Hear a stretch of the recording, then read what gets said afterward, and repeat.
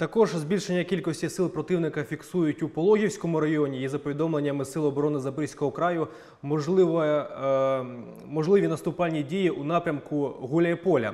Вже е, майже 4 місяці е, окупанти намагаються захопити це містечко Гуляйполя, а також Оріхів, але у них це не вдається. Як ви думаєте, чи е, можлива якась зміна ситуації після накопичення цих сил?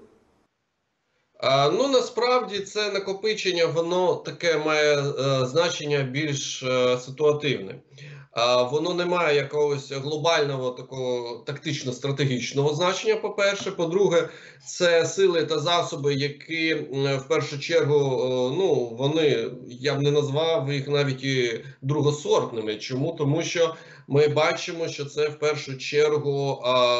Техніка, яку вони знімають збереження, яка ну не найкращого стану, не високотехнічна, не високотехнологічна. Це ще з складів епохи радянського союзу, де воно було на збереженні.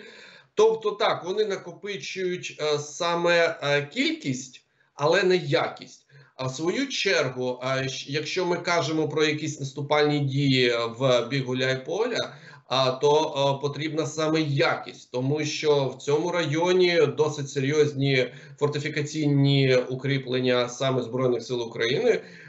Не так все просто насправді. Та ми бачимо, що вони майже заблоковані. Ось а, у цьому а, районі а, Васильівка, Такмак, Гуля е, і не можуть а, просуватися до Гуляйполя. Знову ж таки, чому?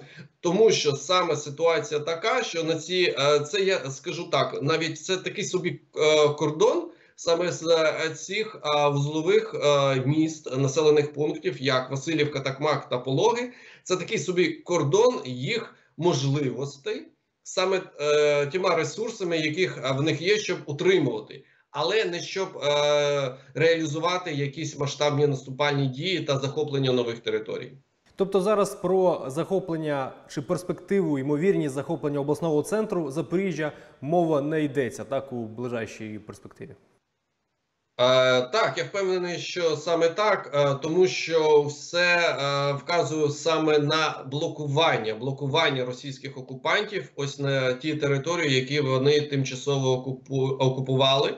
Але ще більш того, по деяким напрямкам все ж таки є просування, тому це блокування, а воно просування саме збройних сил України. Тому це блокування, воно ще й має ось е, такий характер, все ж таки е, позитивний характер контрнаступальних дій збройних сил України, але не настільки стрімких, як дехто каже.